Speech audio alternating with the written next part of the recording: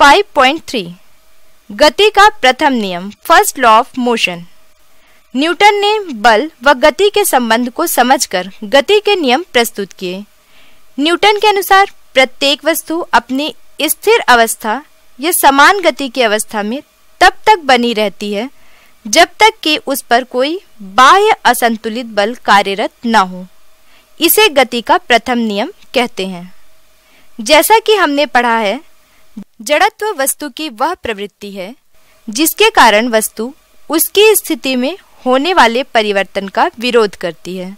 अतः गति के प्रथम नियम को जड़त्व का नियम भी कहते हैं। क्या आप गति के प्रथम नियम के अनुसार उदाहरणों को समझा सकते हैं? कंबल को छड़ी से पीटने पर धूल के कण झड़ जाते हैं, पेड़ को हिलाने पर उसमें लगे फल नीचे गिरते हैं। क्या आप ऐसे कुछ उदाहरण सोच सकते हैं? जब हम चलती हुई रेलगाड़ी में एक ही स्थान पर खड़े होकर उछलते हैं, तब उसी जगह पर दोबारा आ जाते हैं। ऐसा क्यों होता है?